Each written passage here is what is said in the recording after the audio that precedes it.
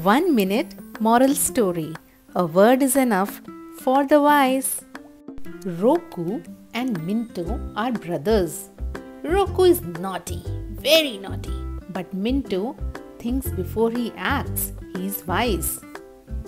So one day, their mother said to them, Don't climb the ladder, it is broken. Being naughty, Roku called Minto to climb the ladder, but Minto didn't agree. Roku climbed up the ladder and fell down. Oh my god! He realized that wise people just need a word to understand. So, how was the story? Did you like it?